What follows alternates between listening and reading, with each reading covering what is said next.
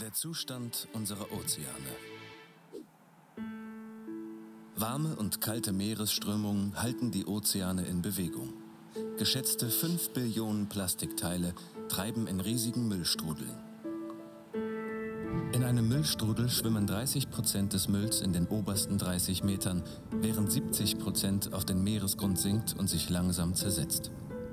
Das Wasser dazwischen enthält sechsmal mehr Mikroplastik als Plankton.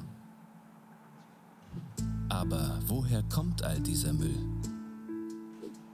Verlorene Fracht, Abfallentladungen und Tankreinigungen von Frachtschiffen, unzählige verloren gegangene Netze und Leinen aus der industriellen Fischerei sowie geschätzte 2,6 Milliarden Liter Öl landen weltweit pro Jahr in den Ozeanen. Zudem werden täglich von den größten Kreuzfahrtschiffen bis zu 150.000 Liter Abwasser und 1,5 Millionen Liter Grauwasser in die Meere geleitet. 20 Prozent der Verschmutzung gelangt so direkt in den Ozean, während 80 Prozent über Flüsse in die Meere geschwemmt wird. Die Wege des Abfalls von Industrienationen und Entwicklungsländern sind grundlegend verschieden. Bis zu 2000 Mikrofasern können sich beispielsweise bei jedem Waschgang aus Polyesterkleidung lösen. Viele Kosmetikprodukte enthalten Mikroplastikteile, die von Kläranlagen meist nicht herausgefiltert werden können. Zudem können Düngemittel und Pestizide in Küstengebieten zu Todeszonen führen. In den Entwicklungsländern werden illegale Mülldeponien bei Starkregen in die Flüsse geschwemmt. Außerdem gelangen giftige Chemikalien wie Quecksilber durch Goldschürfen in die Gewässer. Und beim Textilfärben werden bis zu 7000 Chemikalien verwendet und teils ungefiltert in die Umwelt geleitet. Weltweit gelangen durch Unfälle immer wieder giftige Industrieabwässer in die Flüsse und letztendlich in unsere Meere. Die Folgen für das marine Ökosystem sind gravierend. Geisternetze stellen für rund 100.000 Meeressäuger sowie Millionen Fische und Vögel jährlich eine tödliche Falle dar. Fische fressen Mikroplastikteile, die, aufgeladen mit giftigen chemischen Substanzen, letztendlich auf unserem Teller landen. Ein Liter Öl kann bis zu eine Million Liter Trinkwasser verseuchen. Mit dem Wasser aufgenommen führt es bei Seevögeln, Säugetieren, Fischen und Mikroorganismen zu Organschäden und zum Tod. Wissenschaftlern zufolge sind ca. 30 bis 55 Prozent der Fischbestände überfischt oder zusammengebrochen. Die weltweite Fischfangflotte wird auf 4,7 Millionen Schiffe geschätzt. Während die Schiffe immer moderner werden und größere Mengen effizienter fangen können, sinkt die Beschäftigungsquote mit der Industrialisierung rapide. Aber wie kommt es zum Zusammenbruch der Bestände? Sobald mehr Fische gefangen werden, als sie Nachwuchs produzieren können, schrumpft die Population.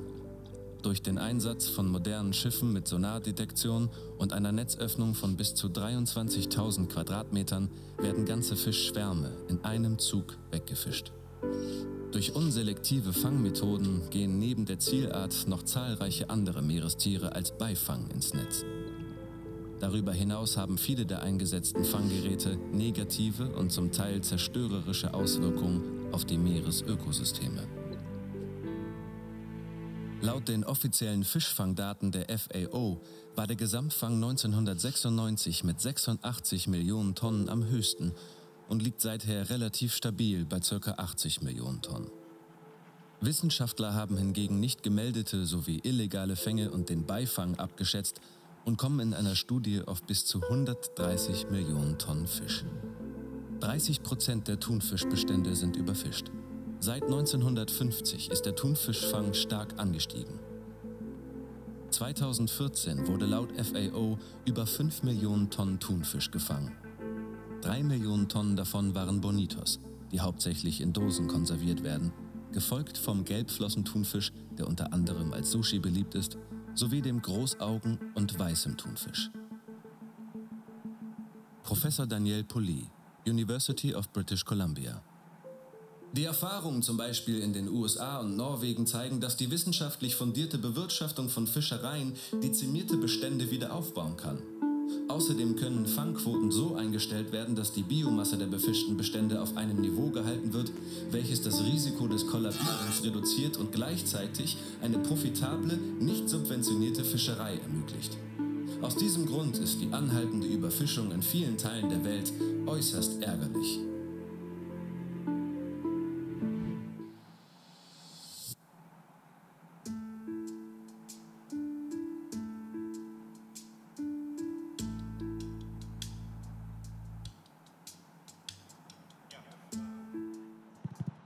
Das war der wunderbare Animationsfilm von Esther Gonzala, den finden Sie auch im Netz. Und begrüßen Sie jetzt mit einem kräftigen Applaus Rainer Fröse vom Geomar Forschungszentrum in Kiel, der uns zunächst einen kleinen Impuls gibt über bedrohte Meere aus der, Fisch, äh, aus der Sicht des Fischereibiologen. Rainer Fröse ist einer der, wie soll ich sagen, altgedientesten äh, Meeresforschern, die sich mit Fischerei beschäftigen. Das ist ein Kompliment? Und, ja, das ist ein Kompliment. Und nicht einer, der immer das sagt, was die Politik gerne hören möchte. Deswegen freut es mich sehr, dass du hierher gekommen bist zur 11. Hamburger Klimawoche. Und wir freuen uns jetzt über deinen kurzen Impulsvortrag und dann anschließend diskutieren wir weiter. Danke. Alles klar. Applaus nochmal. Eins, zwei, drei. Okay, ja, vielen Dank. Und schön, dass wir hier sind heute und über das Thema sprechen. Ich werde so ein paar, der Vortrag vorhin hat im Grunde vieles von dem gesagt, was ich sagen werde. Äh, aber ich zeige ein bisschen die Forschung dahinter, äh, die ich zum Teil auch persönlich gemacht habe und auch mit Kollegen wie Daniel Pauli. Wir arbeiten seit 30 Jahren zusammen. Äh, so viel zu alt gedient wahrscheinlich. Okay. Das ist mein erstes Bild und das ist eine Studie, die im Augenblick läuft, zusammen mit dem Alfred-Wegener-Institut in äh, Bremerhaven. Und zwar gucken wir uns an, äh, wie sieht das auch mit den globalen Meeren, wenn sich die Umwelt verändert. Wir haben gute Vorhersagen äh, von unseren Ozeanographen, wie sich Wassertemperatur, Salzgehalt, Strömungen, Primärproduktion, also wie viele Algen sind im Wasser, verändern werden im Laufe der nächsten 100 Jahre. Und wir haben uns hier das Jahr 2050 rausgegriffen. Und was wir gemacht haben, ist im Grunde äh, 25.000 Arten zuzuordnen zu den Umweltbedingungen. Wir wissen, wo sie jetzt sind. Wir wissen, was die Umweltbedingungen jetzt da sind. Daraus können wir rausrechnen, was ihre bevorzugten Umweltbedingungen sind. Und dann können wir gucken, ob in 30 Jahren, also nicht weit weg, viele von uns hier im Saal werden das erleben, ob in 30 Jahren diese Umweltbedingungen an dem Ort, wo sie jetzt sind, immer noch gegeben sein werden. Wenn man das macht, kommt man zu dieser Karte, die zeigt in Rot den Verlust an Arten in einem bestimmten Meeresgebiet. Das heißt nicht, dass sie ausgestorben sind, aber das heißt, dass sie da nicht mehr vorkommen. Okay? Und wenn man sich das so anguckt, dann sieht man die roten, das ist bis zu 100 Prozent der Arten, die jetzt da sind, werden in 30 Jahren da nicht mehr sein. Okay? Man sieht, dass die Tropen hier betroffen sind. Ich darf nicht da reinfallen. Die Tropen sind relativ stark betroffen, aber auch die Pole. Und warum? Das Wasser wird wärmer. Es wird wärmer, als die Fische aushalten können. Äh, und das heißt, die, die äh, Fische an den Polen, wenn das da zwei Grad wärmer wird, darauf sind die nicht angepasst. Die sind auf fast 0 Grad angepasst. Eine Erhöhung um 2 Grad ist für die mega. Also es ist nicht wie von 20 auf 22, ist wie von 0 auf 100, ist viel zu viel. Und die werden verschwinden, die werden verlieren. Und die können auch nirgendwo anders hingehen, die könnten tiefer gehen, aber tiefer ist eher wärmer als kälter. Am, Ozean, am Grunde der Ozean ist ungefähr 4 Grad, an der Oberfläche da oben ist es 0 Grad. Okay? Die können nirgendwo hingehen, die werden wahrscheinlich aussterben. Die in den Tropen, hier sehen wir das, denen wird es auch zu warm, die werden wegwandern, die gehen in die Subtropen. Und die hier sind, subtropisch, die wandern nach den Polen hin. Okay? Also das sind so Wanderbewegungen, aber die sind ziemlich kritisch. Das heißt, dass Länder wie Indonesien, Philippinen, Malaysia ihre Fische verlieren werden. Die, die am meisten darauf angewiesen sind, äh, Micronutrients, äh, wie immer das auf Deutsch heißt, von Fischen zu bekommen, die werden ihre Fische verlieren. Und das in den nächsten 30 Jahren. Wir sprechen nicht in 100 Jahren, wir haben auch keine großen Unsicherheiten vorherzusagen, wie das Meer in 30 Jahren sein wird. Also hier ein Riesenproblem. Dann die globale Fischerei wurde angesprochen. Äh, fortschreitende Technik hilft uns manchmal. Hier haben alle Schiffe über 12 Meter weltweit vorgeschrieben von der International Maritime Organization, dass Sie einen kleinen Sender an Bord haben müssen, der beständig jede Sekunde Ihre Position, Ihre Geschwindigkeit, Ihren Kurs durchgibt. Nennt sich AIS, Automatic oder whatever, Identification System. Okay, die kann man auswerten und dann kriegt man diese Karte. Und dann sieht man, wie viele Fisch Schiffe weltweit unterwegs sind. Und das ist natürlich ein Problem, wie wir gehört haben, weil die blasen Schwefel in die Luft. Die fahren ja immer noch mit Schweröl, das ist das dreckigste Öl, das man sich vorstellen kann. Erst langsam kommen jetzt Regulierungen in Kraft, dass in bestimmten Gebieten sie umschalten müssen von Schweröl auf normalen Diesel. Das ist ganz neu. In hoher See fahren die alle noch mit dem dreckigsten Stoff überhaupt. Da kommen so gelbe Schwaden oben raus, die man auch manchmal sieht in der Nordsee oder der Ostsee am Horizont. Wenn die Sonne so merkwürdig aussieht, ja, das sind die Schwefelaus Ausdünstung der Schiffe.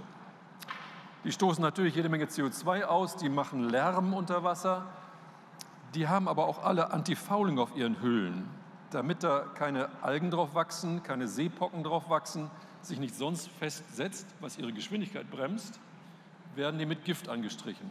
Das Gift wird kontinuierlich ins Wasser abgegeben, damit sich da nichts draufsetzt. Das nennt sich Antifouling. Das wird alle zwei Jahre erneuert, damit weiter Gift abgegeben wird. Also auch das ist ein Riesenproblem. Ballastwasser ist ein Problem, weil darin, also wenn die Schiffe leer sind und zum nächsten Hafen leer fahren müssen, damit sie nicht umkippen, haben sie Tanks am Boden, da laden sie Wasser rein. Mit diesem Wasser von der Umwelt haben sie auch Eier drin von Krebsen, von allen möglichen Organismen und fahren dann mit diesem Ballastwasser woanders hin und pumpen das da wieder raus, wenn sie Ladung aufnehmen.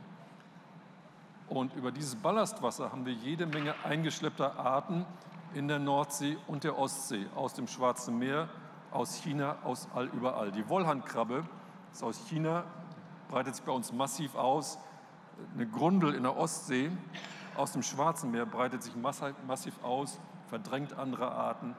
All das ist ein Problem, das man einfach lösen könnte, indem man das Ballastwasser zum Beispiel heizt. Schiffe produzieren jede Menge Hitze in ihrer Maschine. Man braucht nur eine Heizschleife reinzulegen. Wenn man es über 60 Grad erwärmt, stirbt Leben ab wäre das gelöst. Macht man nicht, kostet ja irgendwas. Und natürlich haben wir Kollisionen. Schiffe kollidieren mit Walen regelmäßig. Also eine der Haupttodesursachen von Walen ist nicht nur der Walfang von Japan, Norwegen und Island, sondern auch Kollisionen mit Schiffen, die 20 Knoten schnell fahren. Wale schlafen an der Oberfläche. Die Hälfte des Gehirns guckt so ein bisschen, aber es reicht nicht aus, um rechtzeitig auszuweichen, wenn die relativ schnell ankommen. 20 Knoten sind ungefähr nicht ganz 40 Stundenkilometer. 38 Stundenkilometer etwa. Mal 2 minus 10 Prozent. okay. Gut, also das dazu. Und übrigens diese Karte, man sieht, wo sie sind, überall. Äh, die Kontinente sind nicht eingezeichnet. Die ergeben sich einfach als schwarzer Hintergrund. Es sind keine, ist keine Karte, es sind nur die Schiffsbewegungen. Okay, Darunter waren auch Fischereifahrzeuge und das bringt uns zu dem nächsten Thema, das angesprochen wurde, wo wird weltweit gefischt. Und man sieht, überall, wo es hier grün ist, wird gefischt. Aber da, wo es dunkelblau ist, wird besonders viel gefischt. Und das ist hier in Europa, Nordsee sehen wir hier, um England herum, aber auch um Dänemark herum, Kattegat, Skagerrak und China hier. Da wird am meisten gefischt von überall, aber auch in der Hohen See. Also es gibt im Grunde keine Rückzuggebiete äh, für Fische. Überall wird massiv gefischt. Und die Hauptfänge werden an den Küsten gemacht und nur sehr wenige Fänge werden eigentlich auf hoher See gemacht. Man könnte diese Fänge auch an den Küsten machen, weil die meisten Arten hier Wanderfische sind. Die kommen also auch an die Küsten, man könnte sie da fangen. Deshalb ist im Augenblick ein Vorschlag vor den Vereinten Nationen, die Hohe See komplett zu sperren für Fischerei. Das würde für die internationale äh, Ernährung keine große Rolle spielen, weil, wie gesagt, die meisten Arten kommen sowieso irgendwann an die Küste. Aber es wäre ein riesiges Schutzgebiet. Das hätte noch mehr Implikationen, weil Hochseefischerei ist nicht kontrolliert. Ist außerhalb der Hoheitsgewässer quasi ein rechtsfreier Raum. Stimmt zwar nicht ganz, aber ich sage das mal so, weil es nicht kontrolliert wird. Ein quasi rechtsfreier Raum, in dem unter anderem immer noch Menschenhandel und Sklaverei stattfindet. Das glaubt man nicht, wenn man hier in Hamburg sitzt. Das ist aber so. Die Fischereischiffe, das sind junge Leute, die von ihren Eltern losgeschickt werden, Geld zu verdienen für die Familie, die dann auf solche Boote gesetzt werden, die fahren raus, die kommen jahrelang nicht zurück. Die Leute die haben sowieso keinen Pass oder irgendwas, die sind da wie gefangen und müssen auf diesen Booten arbeiten für Lohn oder auch keinen Lohn. Und wenn die über Bord fallen, sterben, interessiert das auch niemanden, es wird nicht registriert. Also es sind katastrophale Arbeitsbedingungen, Menschenrechtsverletzungen auf der Hohen See, weil es da keine Kontrolle gibt.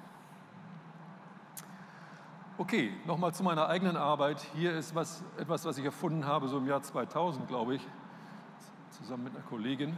Und zwar wollte ich damals wissen, wie geht es eigentlich den Fischbeständen weltweit? Und die Vereinten Nationen haben eine Datenbank, wo alle Länder ihre Fänge hinberichten. Und ich habe eine ganz simple Rechnung hier gemacht, wenn wir uns in verschiedenen Kategorien, aber wenn wir uns auf diese Kollaps zusammengebrochene Bestände angucken, sind einfach die, die weniger als 10 Prozent der Fänge liefern, die sie mal geliefert haben. Okay? Die haben also mal sehr hohe Fänge geliefert und jetzt liefern sie nur noch so viel. Und da wir kein Management haben, kein effektives, heißt das, die Bestände sind quasi zusammengebrochen.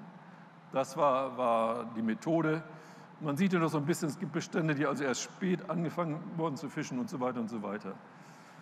Das hat einen ziemlichen Aufschrei gegeben, ein paar Jahre später, als Boris Worm, ein Kollege, diese Methode benutzt hat, um vorherzusagen, dass im Jahr 2048 alle Fischbestände zusammengebrochen sein werden. Einige von Ihnen erinnern das vielleicht, das ging durch die Medien vor fünf, zehn Jahren, 2006 oder so ähnlich hat er es rausgebracht, hat Riesenkritik ausgelöst.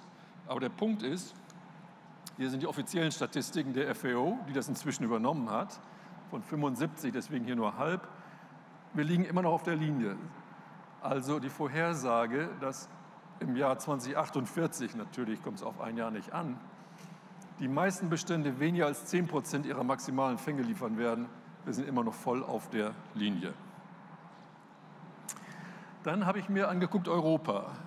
Das Thema ist ja immer global denken, lokal handeln. Wir leben in Europa, also gucken wir mal erst vor unserer eigenen Haustür, bevor wir andere kritisieren. Und ich habe hab mir mit Kollegen zusammen die Bestände in den europäischen Gewässern angeguckt. Ungefähr 400 werden befischt. Offizielle Bestandserfassungen gibt es nur für 100. Die anderen sind angeblich nicht wichtig. Wir haben das mal für alle gemacht. Und was man sieht mit dem Hintergrund ist hier erklärt. Also eigentlich müssen Bestände so befischt werden, dass sie den sogenannten maximalen Dauerertrag liefern können. Das heißt, sie müssen groß genug sein, dass sie auch hohe Fänge liefern können, ohne zu schrumpfen. Okay? Das heißt es im Prinzip. Die Frage ist dann hier, wie viele der Bestände, die hier gefischt werden, sind in einem solchen Zustand. Und gelb heißt, es sind etwa 60 Prozent und dunkelrot heißt, es sind weniger als 20 Prozent. Man sieht so ein Gefälle von Norwegen, Barentssee bis runter zum Mittelmeer und man sieht, wie stark überfischt wird, aber auch bei uns in der Nordsee und in der Ostsee. Und ja, das haben wir vorgestellt, vor, habe ich vorgestellt im Europaparlament, bin eingeladen worden und äh, ja, man tut, was man kann. Und der Punkt ist, wir können ausrechnen, was für Fänge denn unsere Bestände liefern würden, wenn sie groß genug wären, wie ich das gerade erklärt habe. Im Unterschied zu dem, was sie jetzt liefern. Im Augenblick ist der Fang von den Beständen, die ich gezeigt habe, etwa 8 Millionen Tonnen, 8,8 Millionen Tonnen. Wenn man sie nachhaltig bewirtschaften würde, wenn man erlaubt, dass sie wachsen, würden wir 5 Millionen Tonnen mehr bekommen. Also immer diese Horrorgeschichte, oh, wir können keinen Fisch mehr essen, wir müssen viel weniger Fisch essen und so weiter. Das bestimmt alles nicht. Das sind Märchen, die uns erzählt werden, die einfach nicht stimmen. Wenn wir die Bestände nachhaltig bewirtschaften, wenn wir sie auf die richtige Größe wachsen lassen, können sie höhere nachhaltige Fänge liefern. In Europa 5 Millionen Tonnen mehr. Ein Zuwachs um 57 Prozent wäre möglich. Und die Frage ist, wie lange dauert das, bis man dahin kommt? Zwei bis vier Jahre. Also von all den Problemen, die die Ozeane haben, von allen Problemen wie Klima, Verschmutzung, Mikroplastik, alles, was wir gehört haben, ist Überfischung das Problem, das am schnellsten und einfachsten gelöst werden kann. Und es würde auch nichts kosten, ganz im Gegenteil, es würde Geld bringen. Warum?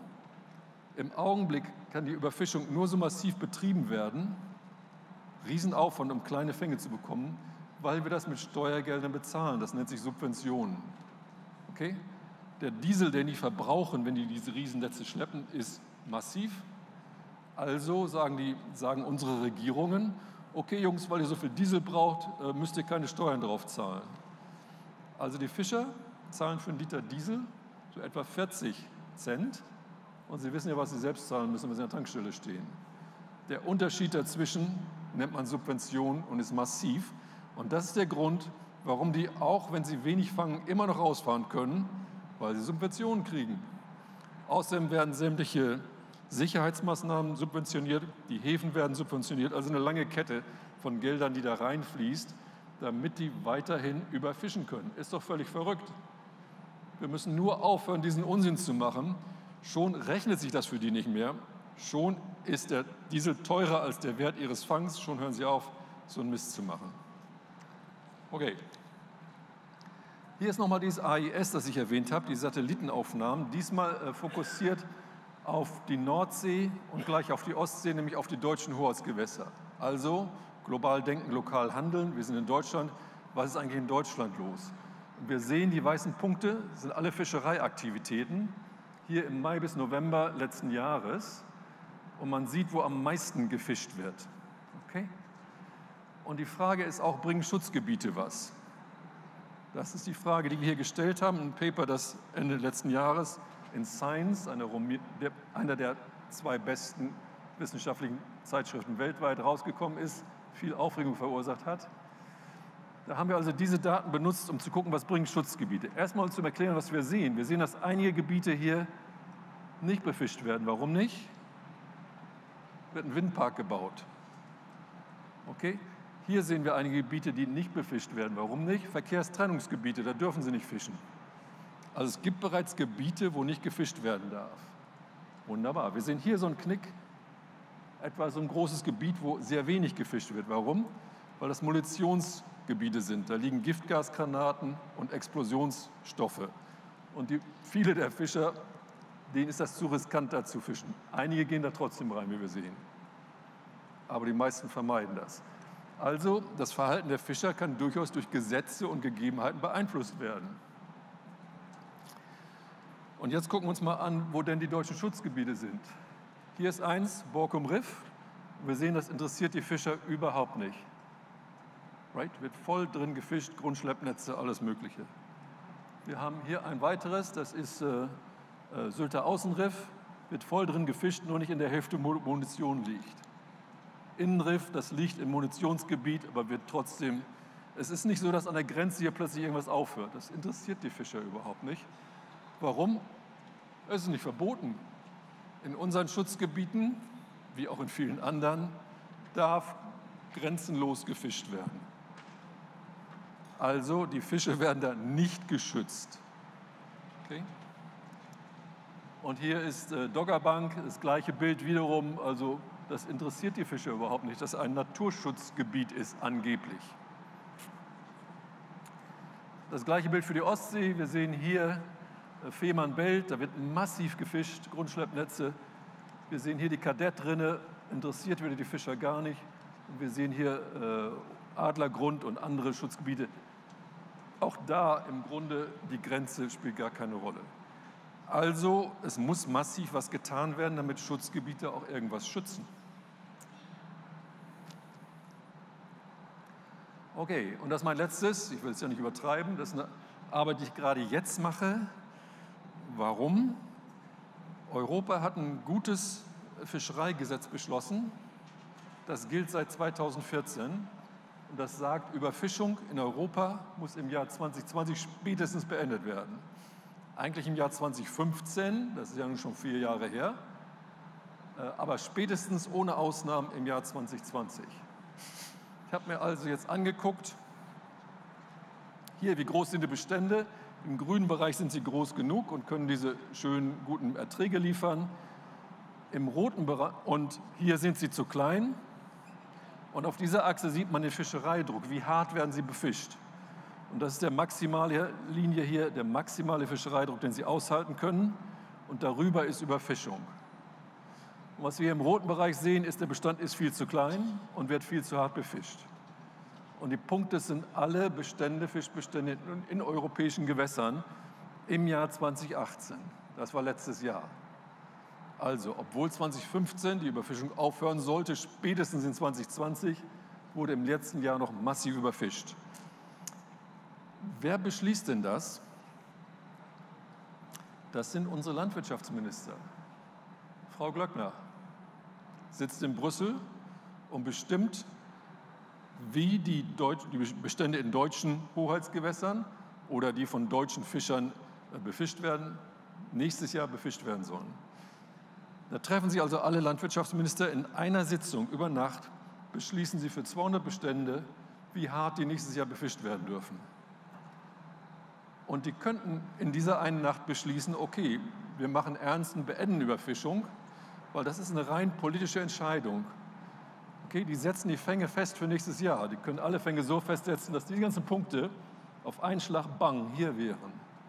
Das haben sie bisher nicht getan. Das müssten sie tun. Die nächste Sitzung ist im Oktober für die Ostsee und im November für die Nordsee.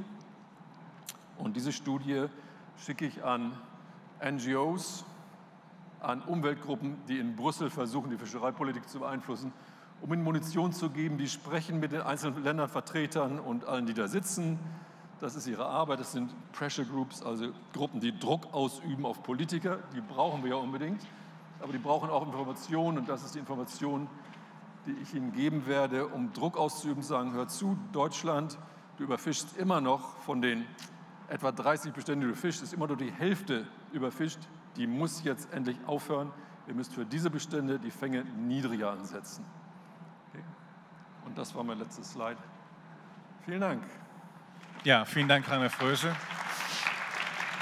Das war ja eigentlich auch äh, ziemlich deprimierend zu sehen, dass vor unserer eigenen Haustür ähm, Gesetze nicht eingehalten werden. Ich frage mich, wie, wie, wie, kann es angehen? Also wenn ich irgendwo falsch fahre auf der Autobahn, falsch parke in Hamburg, kommt sofort jemand, gibt ein Knöllchen. Wer wäre denn dafür zuständig, dafür zu sorgen, dass die Meeresschutzgebiete hier in Deutschland auch geschützt werden? Wer, wer also formal zuständig ist das Bundesamt für Naturschutz. Das, ist, äh, das arbeitet zu dem äh, Umweltministerium, also Frau Schulze. Hat die Polizisten? Äh, allerdings ist es so, dass, dass äh, man glaubt es alles nicht. Es ist dermaßen kompliziert gemacht worden, dass die bei bestem Willen keine Fortschritte machen können. Zum Beispiel, Deutschland will in, in einem Schutzgebiet in unseren Hoheitsgewässern Fischerei ausschließen. Aber Dänemark hat da traditionell auch gefischt. Zwar nur mit zwei, drei Kuttern, aber immerhin. Europa verlangt jetzt, dass erst mit Dänemark verhandelt werden muss, dass die auch zustimmen, dass Deutschland in seinen eigenen Hoheitsgewässern seine Fische schützt. Die Dänen wollen das aber nicht. Also muss ein Kompromiss gefunden werden. Okay? Das ist nur ein Beispiel. In der Nordsee sind das noch mehrere andere Länder. Nicht nur ist auch Holland drin, ist nicht nur Dänemark drin, sind auch zum Beispiel Engländer und Polen sind da drin mit allen muss verhandelt werden und alle müssen zustimmen, wenn Deutschland irgendwas schützen will. Okay? Und wenn das mit allen verhandelt worden ist, dann geht es nach Brüssel und dann müssen alle Landwirtschaftsminister aus, aus, aus Europa dem Paket wieder zustimmen und dann muss die Kommission das in Kraft setzen und so weiter und so weiter. In Deutschland versucht das Bundesumweltamt für Naturschutz das seit 13 Jahren, haben sie einen Prozess gestartet, immer noch wird nichts geschützt, wie ich gezeigt habe. Also der Prozess läuft, aber das ist natürlich ein, ein Hanebüchner Prozess. Es müsste genau andersrum sein. Es wird zuerst zugemacht, wenn irgendjemand weiter fischen will, dann gucken wir mal, ob das berechtigte Gründe dafür gibt. Also die Beweislast müsste umgekehrt sein, statt wie jetzt zu sagen, okay, ihr dürft alle weiter fischen, dann gucken wir mal.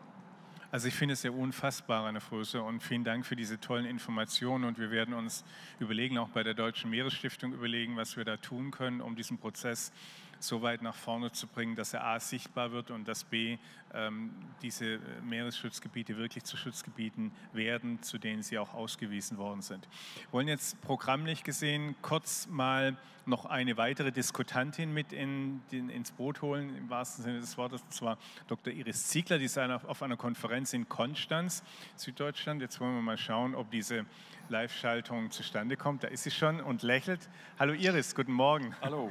Von aus Hamburg. Hallo, guten Morgen zusammen. Hallo Frank, vielen Dank.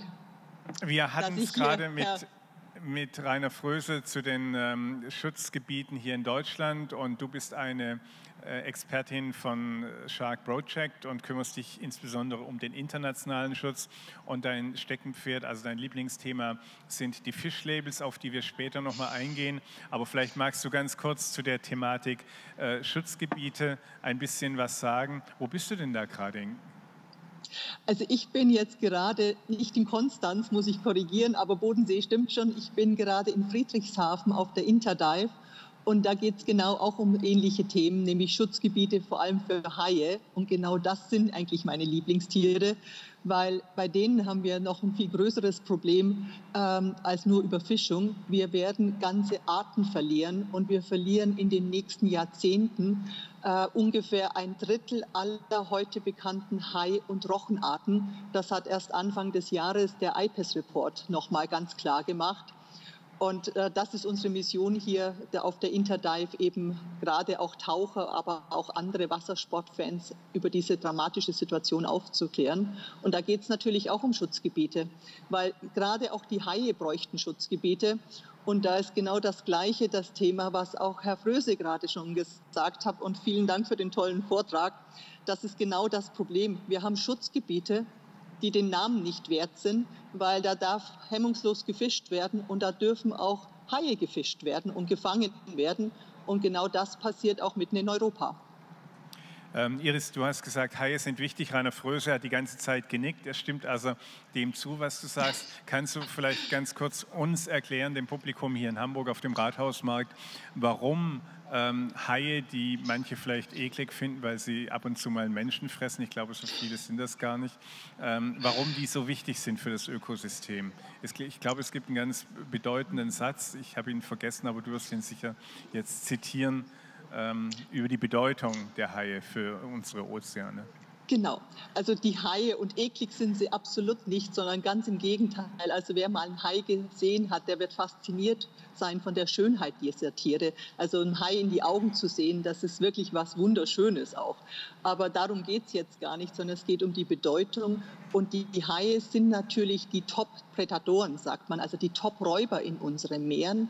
Und als solche haben sie eine ganz wichtige Funktion äh, für das äh, gesunde Ökosystem, also für das Zusammenspiel allen Lebens im Meer und damit für das Gesunderhalten der Meere, für unsere auch damit wir auch zukünftig Fisch als Nahrungsquelle haben und damit wir auch zukünftig vor allem Sauerstoff haben, den wir zum Atmen brauchen. Und auch der kommt, jeder zweite Atemzug, den wir alle tätigen, wird im Meer produziert. Und es ist ganz einfach eigentlich zu sagen, und das versteht, glaube ich, auch jeder, äh, vergleicht man es doch mal mit der Serengeti. Dort ist der Löwe der König. Wenn ich den Löwen rausnehme, dann wird seine Beute erstmal ein tolles Leben haben, weil sie können sich ungestört vermehren. Aber langfristig wird diese äh, Beute, das sind die Antilopen, die Grasfresser, ihre eigene Nahrungsgrundlage zerstören. Und dann bleibt nur noch Wüste. Das ist jetzt sehr, sehr vereinfacht ausgedrückt. Im Meer ist das alles viel komplizierter und hängt viel mehr äh, miteinander zusammen wie in einem Netz. Aber letztendlich ist das die Funktion der Haie und anderer Top-Prädatoren, die Meere gesund zu erhalten, die Bestände zu regulieren in einem Gleichgewicht und dafür zu sorgen, dass Krankheiten sich nicht ausbreiten können.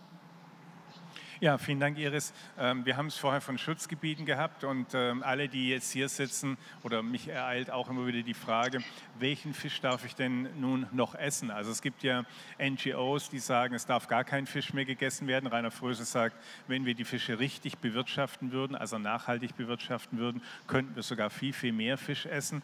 Und wenn ich jetzt in den Supermarkt gehe und mich da orientiere und, und gucke, da gibt es inzwischen eine ganze Inflation von Stempeln, die auf, diesen, auf unseren Nahrungsmitteln drauf ist. Und du hast dich in den vergangenen drei Jahren, vier Jahren zusammen mit 80 Nichtregierungsorganisationen insbesondere um den MSC, also um dieses Fischlabel MSC gekümmert und festgestellt, dass... Ja, dass es leider heute nicht das hält, was es uns verspricht. Und das ist genau die Problematik. Wir sagen alle zusammen MSC, we need you. Also wir brauchen sowas wie ein echtes Nachhaltigkeitssiegel, dem die Verbraucher, also jeder, der Fisch einkaufen möchte und dabei nicht die Meere weiter ausplündern möchte und vor allem auch die bedrohten Arten schützen möchte. Weil es geht ja nicht nur über, über die Überfischung, sondern es geht ja vor allem darum, dass wir Fische so fangen, ohne jede Menge ich sage jetzt mal, Kollateralschaden zu betreiben, indem wir Haie, Wale, Delfine, was sonst noch alles mitfangen und töten. Und genau das ist das Problem mit dem MSC. Es sorgt nicht mehr dafür, dass der Fisch, der gefangen und zertifiziert wird, genau diesen Beifang auch minimiert. Es duldet, dass Fischereien zertifiziert werden, die zum Teil über 50 Prozent Beifang haben. Und das sind dann zum Beispiel Haie oder dass Wale, bedrohte Wale, die es nur noch in äh, Nordosten Kanadas und der USA gibt, noch 400 Tiere. Jedes Jahr sterben Tiere wieder durch diese Fischereien. Das sind Hummerfischereien dort oben. Und das ist unsere Kritik am MSC. Und das ist das, was sich ändern muss, weil nur wenn wir ein Siegel haben, das den Anspruch auch an ein Nachhaltigkeitssiegel wirklich erfüllt. Und dabei geht es, wie gesagt, nicht nur um die Zielarten, sondern vor allem um den Beifang auch. Ich sage auch, weil das, was Rainer Fröse gesagt hat, ist absolut richtig. Ähm, nur wir müssen auch dafür sorgen, dass wir nicht diesen Kollateralschaden betreiben. Und damit ist es nicht getan, wenn wir sagen, wir äh, fischen weniger oder lassen die Bestände erstmal sich erholen, sondern wir müssen anders fischen. Wir müssen selektiver fischen. Wir müssen den Fisch fangen, den wir wirklich dann essen und nicht nochmal genauso viel oder noch mehr als Abfall, als Müll ins Meer entsorgen, sterbend oder gar tot. Also nun äh, wird ja unser Publikum hier in Hamburg nicht selber fischen gehen, vielleicht der eine oder andere an der Elbe, ähm, wird da sicher die unglaubliche Entdeckung machen, dass die Fischarten sich in den vergangenen 10, 12 Jahren um äh, 50 Prozent schon verändert haben durch den Klimawandel. Wir sind ja hier auf der Klimawoche. Aber was kannst du den äh, Verbraucherinnen und Verbrauchern denn wirklich mitgeben? Sollen sie gar keinen Fisch kaufen oder nach was sollen sie gucken im Laden? Gretchenfrage. Ach, Gretchenfrage, schwere Frage. Also natürlich ist es so, dass wir nicht sagen können, wir essen jetzt alle keinen Fisch mehr. Und man muss dabei ja auch wissen, es geht ja nicht nur um Deutschland, ähm, sondern es geht um die ganze Welt und viele andere Menschen haben gar keine andere Möglichkeit, Protein zu bekommen. Aber was ich Ihnen raten möchte, liebe Verbraucherinnen und Verbraucher, zum Ersten essen Sie weniger Fisch und wenn Sie Fisch essen, dann tun Sie diesen Fisch bitte nachhaltig einkaufen. Das heißt Fisch, der wirklich so gefangen worden ist, dass keine anderen Meeresbewohner deswegen gestorben sind. Und den gibt es, nur der ist deutlich teurer und der muss auch teurer sein, weil ich kann nicht erwarten, dass zum Aldi-Discounterpreis ich die gleiche Nachhaltigkeit, die gleiche Selektivität habe, wie wenn eine Dose Thunfisch, sage ich mal ganz salopp, 5, 6 Euro kostet, statt 1,90 Euro. Und dann gibt es natürlich auch noch den guten alten Karpfen. Und vielleicht wäre auch das mal wieder eine Alternative für einen Sonntagsbraten und einen Sonntagsfisch, mal wieder den Karpfen auf den Tisch zu bringen, weil den kann man wirklich nachhaltig züchten und sogar vegetarisch ernähren. Und dieses Umdenken wäre ganz wichtig. Und dann natürlich, äh, Frank, du hattest es schon angesprochen, keiner kann aufs Meer rausfahren. Keiner kann schauen, wie wird denn wirklich gefangen. Wie viele Delfine sind dafür gestorben. Deswegen brauchen wir ein glaubwürdiges Siegel. Und wenn Sie als Verbraucher diesen Druck aufbauen, und das wäre mein Appell an Sie und auch der Appell von inzwischen 89 Umweltschutzorganisationen und äh, bekannten Wissenschaftlern, die genau das Gleiche fordern. Das MSC muss wieder dafür stehen, was es eigentlich mal sein sollte. Ein Goldstandard für Nachhaltigkeit und Meeresschutz.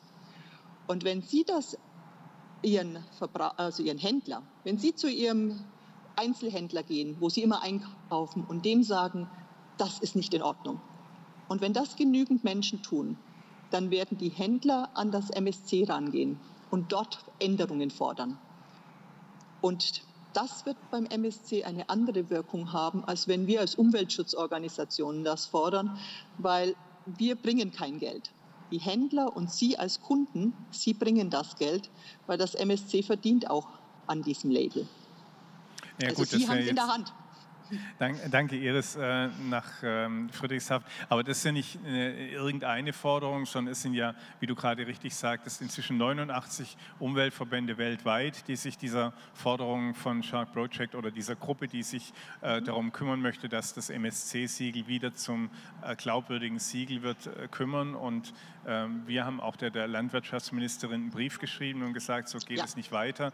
Da hat sie aber erstmal abgewimmelt und gesagt, naja, wir haben ja Fischereiwissenschaftler bei uns im Team, Klammer auf, die auch im Beirat des MSC sitzen und die sagen, es ist ganz anders. Also ich glaube, da müssen wir uns noch auf eine ähm, weitere Konfrontation oder weitere Diskussion einstellen. Aber zunächst einmal ganz, ganz herzlichen Dank, dass du es möglich gemacht hast, heute Morgen hier mit dabei zu sein. Ähm und aber es ist schon erstaunlich, äh, es stimmt, äh, was die Gewinne angeht, wenn die illegal fischen und einen begehrten Fisch äh, wie diesen, äh, äh, das, das, war nicht Dorsch, das war, was war der Fisch? Wie auch immer. Arktis-Dorsch, oder? Arktis-Dorsch. Ja, Dorsch ist immer so ein Name. Anyway, äh, wenn man die verkauft, hat man im Grunde in einer Fangfahrt den Wert des Bootes raus. Okay?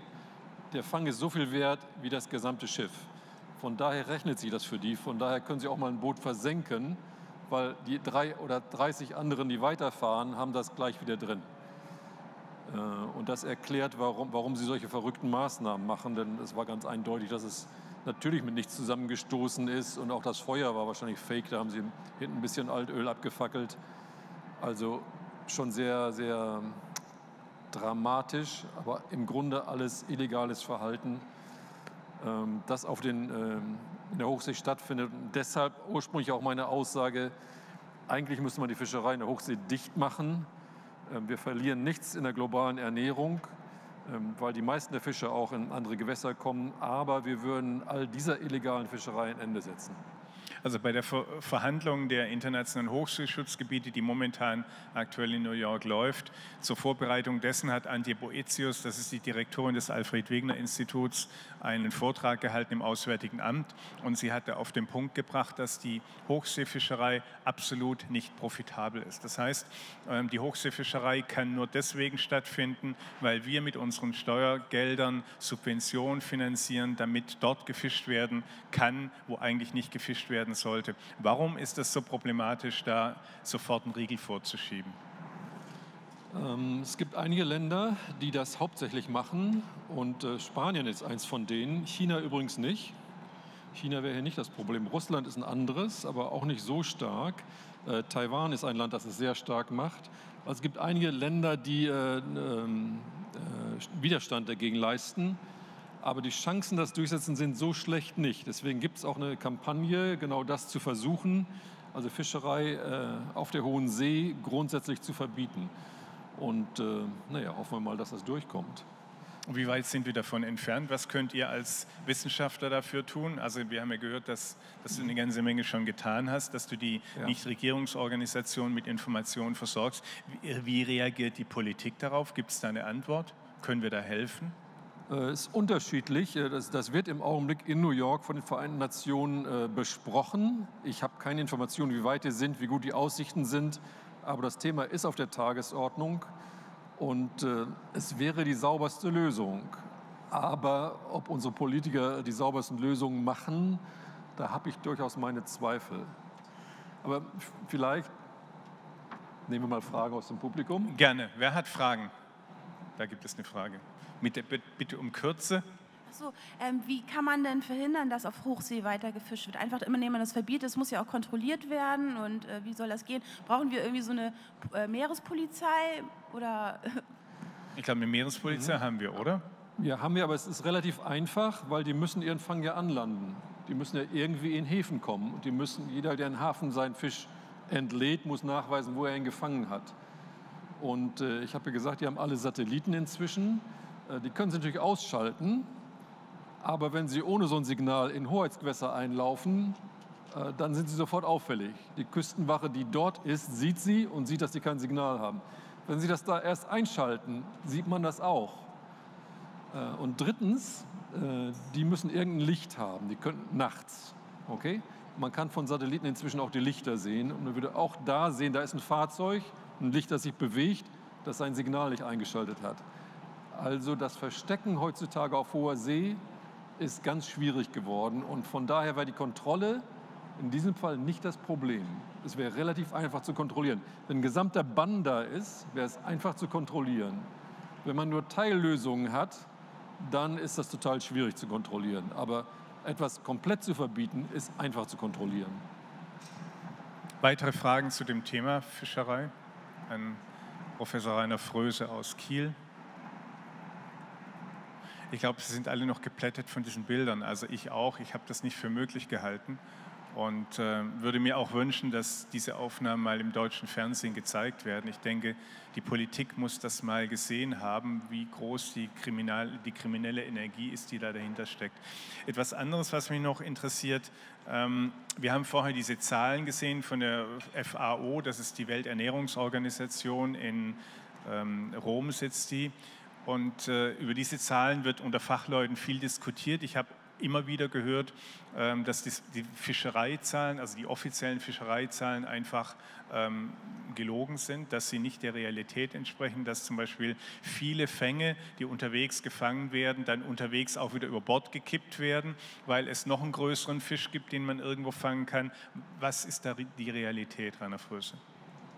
Ja, wir haben die traurige Realität, dass äh, ein, ein riesiger Anteil der Fänge, wieder tot über Bord geworfen wird, obwohl die eigentlich völlig in Ordnung sind und verzehrt werden können. Wir sprechen von etwa 40 Prozent, das ist eine Schätzzahl.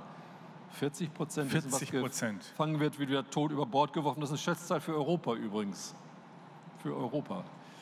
Und äh, der Grund ist häufig, ähm, wie du richtig sagst, äh, man hofft, dass man äh, noch eine andere Art findet, die einen höheren Marktpreis hat. Ähm, und, oder noch größere findet, weil die, die man gefangen hat, zu klein sind oder ir irgendwelche anderen Gründe, äh, die nichts damit zu tun haben, dass das eigentlich gute Fische sind, die man gefangen hat. Ja, gibt es denn niemanden, der das überwacht? Das kann doch nicht angehen, dass gefischt wird, über die Kante gekippt das und dann ist wieder wieder ein typisches Beispiel für, wie gut sind unsere Politiker. In Norwegen zum Beispiel, das nicht Mitglied der EU ist, ist es ist verboten, irgendwas über Bord zu werfen. Alles, was gefangen ist, muss angelandet werden wird dann angeguckt, wird dann sortiert und so weiter. In Europa war auch dieser Vorschlag da, war, ist vom Europaparlament positiv beurteilt worden, aber unsere Landwirtschaftsminister, Frau Glöckner und ihre Kollegen, haben darauf bestanden, dass die Fischer erlaubt werden muss, irgendwas über Bord zu werfen und also dürfen sie 5% ihrer Fänge über Bord werfen. Also während in Norwegen, wenn die Küstenschutz sieht, dass irgendwas über Bord geworfen wird, kann sie das Boot festhalten und so weiter und so weiter. Wenn die bei uns das sehen, wissen sie nicht, ob das 5% sind oder nicht. Niemand kann das nachrechnen, niemand kann das überprüfen. Also, wir haben eine Regelung, die nur auf dem Papier steht und nicht überprüft werden kann, dank unserer Landwirtschaftsminister. Das sind nicht irgendwelche gesichtslosen Bürokraten in Brüssel, das sind unsere Landwirtschaftsminister, die solchen Unsinn wissentlich beschließen und glauben, dass sie damit den Fischern einen Gefallen tun. Also Frau Klöckner war ja letztes Jahr hier auf der Hamburger Klimawoche. Wir werden Sie nochmal einladen und dann wissen wir, welches Thema wir, äh, zu welchem Thema wir Sie befragen wollen werden. Die nächste Frage von Ihnen, wenn Sie sich kurz vorstellen und die Frage. Ja, mein Name ist Oliver, hallo. Ähm, ich gehe nochmal auf diese Landwirtschaftsministerin zurück. Äh, wie groß ist denn die Gruppe der Menschen, also der Fischer, die sie, deren Interessen sie dort vertritt? Im Verhältnis zur Gesamtbevölkerung? Oder was ist das, das wirtschaftliche Potenzial dahinter? Was sind die Motivationen dahinter, diese Interessen zu vertreten und nicht die Interessen der, der Gemeinschaft? Mhm. Also jemand hat mal die, die Größe der, der, der Fischer verglichen mit der Größe der Nähmaschinenhersteller und gesagt, Fischer sind eigentlich weniger. Aber ihr Einfluss auf die Politik ist völlig überwältigend, während der Einfluss der Nähmaschinenhersteller auf die Politik äh, unbekannt ist. Warum ist das so? Es sind weniger. Die Zahlen bei uns hier sind ein paar hundert. Weniger als die, die Frauen, die Schleckerfrauen oder irgendwelche gestern Nachrichten, Commerzbank oder irgendwas, was da jeweils entlassen werden soll, ist Tausende. Fischer sind Hunderte. Also zahlenmäßig gibt es überhaupt kein, kein Problem da. Geldmäßig, man müsste die Fischer maximal vier Jahre bezahlen, damit sie nur extrem wenig fangen um danach dann gesunde große Bestände zu haben. Die Summen, von denen wir sprechen, sind ein paar Millionen. Absolut lächerlich im Vergleich zu irgendwelchen anderen Summen. Okay? Also es ist wirklich, äh, die Politiker wollen es nicht anfassen, auch wir haben andere Probleme, interessiert uns nicht.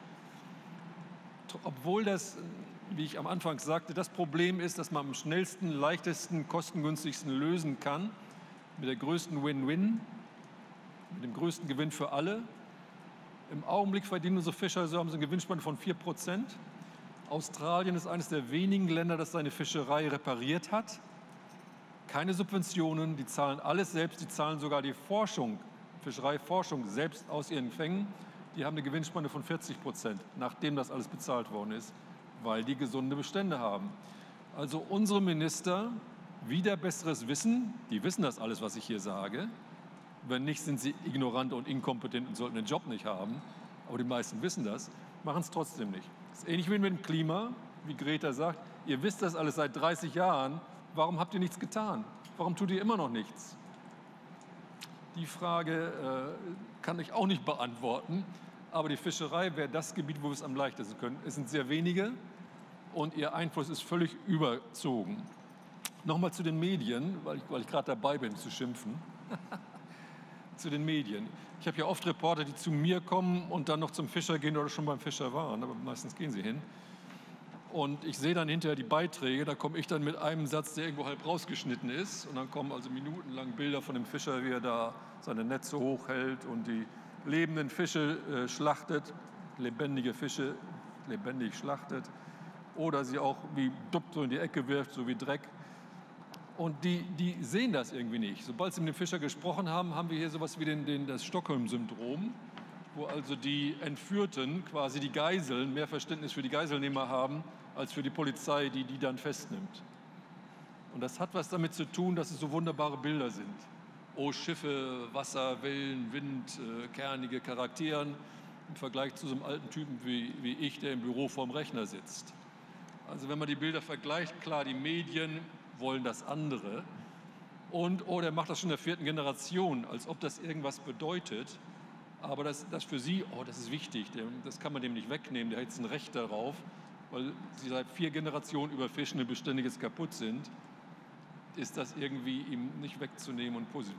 Also die Medien sind Teil des Problems in der Fischerei. Dass die Medien auch anders können, haben, sehen wir beim Klima. Wenn ich jetzt Nachrichten gucke, auf einmal sehr positiv vorinformiert die Medien über das Klima. Das war nicht immer so. In der Fischerei sind wir da meilenweit von entfernt. Ja, Sie wissen, dass es Überfischung gibt, aber sobald es lokal wird, gehen Sie zu irgendeinem Fischer und dann sind Sie auf einmal, äh, ich weiß auch nicht, nicht mehr zurechnungsfähig. Ja, ein bedrückendes, aber immerhin äh, auch frappierendes Schlusswort, würde ich sagen. Herzlichen Dank, Rainer Fröse, für diese unglaublich beeindruckenden und äh, bedrückenden Informationen. Ich werde versprechen, dass wir nächstes Jahr versuchen, äh, Landwirtschaftsministerin Klöckner oder wer es auch immer sein wird, dann hier zu haben, auf der, wieder hier zu haben auf der Klimawoche. Ich finde, wir müssen diesen Dialog fortsetzen. Wir müssen schauen, dass die Politik Politik für die Menschen und für die äh, Nachhaltigkeit und für die Zukunft macht und nicht für irgendwelche Menschen, die kurzfristig viel Geld verdienen wollen damit. Soweit, dann ganz, ganz herzlichen Dank. Vielen Dank, dass Sie da waren. Dank auch an Iris Ziegler. Ich werde es später ausrichten.